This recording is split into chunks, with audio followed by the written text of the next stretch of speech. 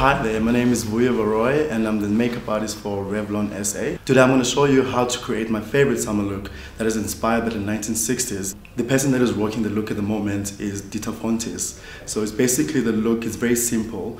Um, it's a liner and lots of mascara and a bright lip. In order for you to create this look, you need to prep your skin with the ColorStay foundation from Revlon. Um, and the color of the, the foundation that I use is caramel. For the first step, I'm using the Revlon Bold Lacquer Mascara to enhance her lashes.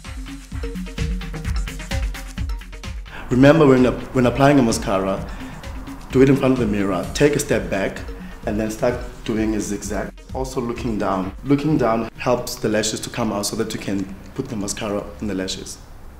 Now I'm going to do the most, my most favorite part of the look, which is the liner. When applying the liner, you need to start from the inside of the eye and then take it right to the end of the eye. Depending on the, on the function that you're going to or how dramatic you want the line, you can make it bigger by just following the same line and just go on top over it. Now I'm going to do the other side of the eye following the same steps that I, was, that I did earlier on. Always look in the mirror and then start from the inside right up, up until the end of the eye, following your eye shape.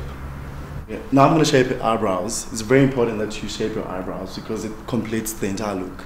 I love using powder when, when shaping your eyebrows because it looks more natural when you use powder than to use a pencil. I'm using ColorStay eyeshadow from Revlon, specifically the brown one. Following the shape of her eyebrow, do the same thing on top of the eyebrow. Now I'm gonna reveal my secret in front of everybody on how to get the perfect eyebrow. I'm, I'm going to use one shade lighter than his skin color just to clean with the foundation under the eyebrow and that's going to help you give you that perfect eyebrow. Now I'm going to do the second last step which is the lip. Depending on how bright you want to go with your, with your look, the lip balms are buildable so you can apply and apply and apply.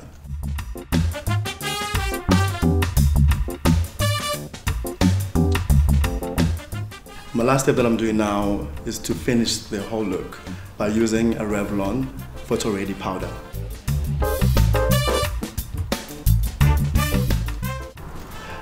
And there you go guys, in five easy steps, that's how you create your 1960s look inspired by Marilyn Monroe.